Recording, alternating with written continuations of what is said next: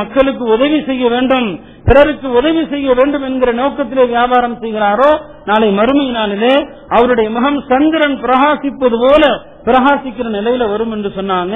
இன்னைக்கு இந்த நோக்கம் நம்மிடத்தில் இருக்கிறதா? நாம கோடிக்கணக்கில் வியாபாரம் செய்கிறோம். ஆனா இந்த வியாபாரத்தை கொண்டு சமூக சேவை செய்ய வேண்டும். சமுதாயத்திற்காக உழைக்க வேண்டும் என்ற நோக்கம் நம்மிடத்தில் எத்தனை நபர்கள்ட்ட இருக்குது? கிறிஸ்தவ சமூகத்தை பாருங்க இந்த நாட்டில் இந்தியாவில் ரெண்டு சதவீதம் தான் கிறிஸ்தவர்கள் இருக்கிறாங்க. ஆனா சமூக சேவையில் அவர்களுடைய பங்களிப்பு இருபது சதவீதம். ரெண்டு சதவீதம் கிறிஸ்தவர்கள் சமூக சேவையில இருபது சதவீதம் பேர் இருக்கிறான் இன்னைக்கு முஸ்லீம்களாகிய நாம் இவ்வளவு கோடிக்கணக்கில் வியாபாரம் செய்யக்கூடிய நாம் என்ன சமூக சேவை செய்யறோம்? நம்ம சமூக சேவைன்னு சொன்னா ஒரு மதரசாவுக்கு உதவி செய்யறது ஒரு அனாதை இல்லத்துக்கு உதவி செய்யறது ஒரு பள்ளிவாசலை கட்டுறதுக்கு உதவி செய்யறது. இந்த அளவோடு நம்முடைய சேவையை சுருக்கி சொல்கிறோம்.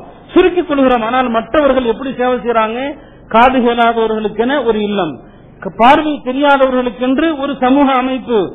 ஊனமுற்றோர்களுக்கு ஒரு சமூக அமைப்பு. இப்படி பல துறைகளிலே மற்ற சமூகங்கள் எல்லாம் சமூக சேவை செய்கிற போது நம்முடைய சமுதாயத்தினுடைய தனவந்தர்கள் செல்வந்தர்கள் அல்லாஹ் கொடுத்திருக்கிற இந்த செல்வத்திலே நாம் என்ன சேவைகள் செய்து கொண்டிருக்கிறோம்? அதிலும் குறிப்பாக நம்முடைய சமுதாயத்திற்கு எவ்வளவு சேவைகள் இருக்கின்றன? இன்னைக்கு நம்முடைய சமுதாயத்திலே தேவையற்ற சமுதாயமா இது பல வகையிலும் நம்முடைய சமுதாயத்திற்கு தேவைகள் இருக்கிறது.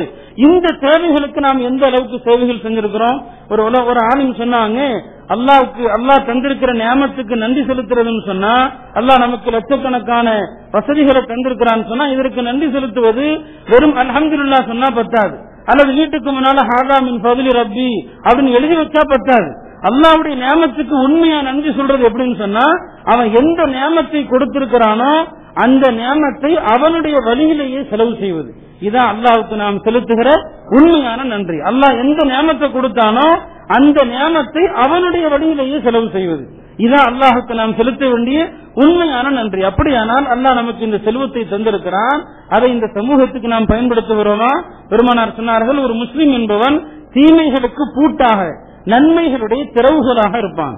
ஒரு முஸ்லீம் தீமைகளுடைய பூட்டு நன்மைகளுடைய திறவுகோல். அப்படியானால் நம்முடைய இந்த செல்வங்கள் சமூகத்தினுடைய நன்மைகளுக்கு பயன்படுகிறதா? இன்றைக்கு நம்முடைய வருமானத்தினுடைய குறிக்கோள்.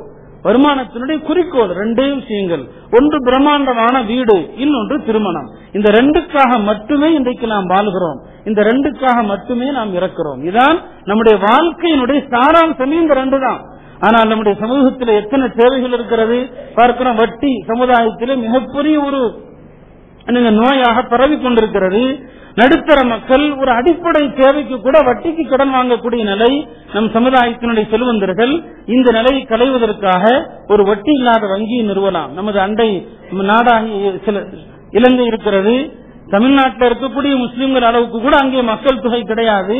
ஆனா இலங்கையில் மட்டுமே ஐம்பதுக்கும் அதிகமான வட்டியிலா வங்கி நடந்து கொண்டிருக்கிறது. அங்குள்ள முஸ்லிம்களால் சுமார் எட்டு ஒன்பது லட்சம் முஸ்லிம்கள் இருக்கிறாங்க. ஐம்பதுக்கும் அதிகமான வட்டியிலா வங்கி செழிப்போடு நடந்து கொண்டிருக்கிறது. மக்கள் சிரமம் இல்லாம இருக்கிறாங்க. இங்கே திருமணத்திற்காக வரக்கூடியவர்கள் ஒவ்வொரு தனவந்தரும் திருமணத்தின் போது மற்ற செலவுகளுக்கு நீங்க எப்படி பணத்தை ஒதுக்குறீங்களோ அதே போல இந்த சமுதாயத்தினுடைய சேவைக்காக ஒரு இருபத்தி ஐயாயிரம் அல்லது ஒரு ஐம்பதாயிரம் என்று ஒவ்வொரு நபரும் ஒதுக்கினால் ஒரு வட்டியில்லா வங்கி நிறுவ முடியும். பரந்த அளவில் நடக்கிறது. நம்முடைய கல்வி சங்கம் சார்பாக ஒரு குறுகிய அளவில் நடந்தாலும் கூட அது இன்னும் விரிவுபடுத்தி நடத்தப்படவில்லை. ஆக நாம் எவ்வளவு செலவுகள் வீண் ஒரு பக்கம் செய்யறோம் இன்னொரு பக்கம் சமுதாயத்திலே வட்டி தலைவிரித்தாடுகிறது கொஞ்சம் பேங்க்ல போய் பாருங்க. எத்தனை பெண்கள் நிக்கிறாங்க? நகையை கொண்டு வந்து நகையை அடகு வைத்துக் கொண்டு பேங்க்ல நிக்கக்கூடிய பெண்களை கொஞ்சம் பாருங்க. ஊருடைய நிலை எப்படி இருக்கிறது? ஊருடைய நிலை எப்படி இருக்குதுன்னு பாருங்க. ஊர்ல எத்தனை மக்கள் தங்களுடைய பத்திரங்களை வீட்டு பத்திரங்களை அடமானம் வைத்து இன்னைக்கு எல்லாம் பேங்க்ல அப்படியே அடமானம் வைக்கப்பட்டிருக்கிறது. இந்த நிலையை மாற்ற வேண்டிய கடமை ஒரு ஊருடைய செல்வந்தர்கள் ஊருடைய வசதி படைத்தவருடைய பொறுப்பு இல்லையா இது? இதுக்காக நம்ம சமூகத்திற்கு என்ன செஞ்சிருக்கிறோம்? நம்முடைய செல்வம் இந்த சமூகத்திற்கு பயன்பட வேண்டும். முஸ்லிம் உம்மத்திற்கு பயன்பட வேண்டும். அப்படி பயன்பட்டால் அந்த செல்வம் அல்லா விரும்புகிறான். அந்த செல்- செல்வந்தர்களை அல்லா விரும்புகிறான். அவங்க நபிமார்களோடு சித்தியக்கின்களோடு சுகதாக்களோடு மறுமையில் எழுப்பப்படுவாங்க. எனவே நம்முடைய செல்வத்தை கொண்டு இந்த உம்மத்திற்கு நாம என்ன